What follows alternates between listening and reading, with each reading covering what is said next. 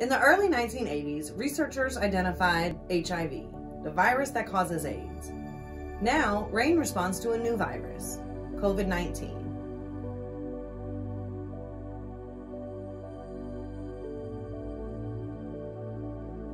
Facilitates access to health insurance and medication.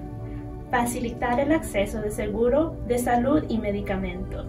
Extends mental health counseling with virtual hours provides case management face-to-face -face or virtual, assisting with rent, utilities, and groceries.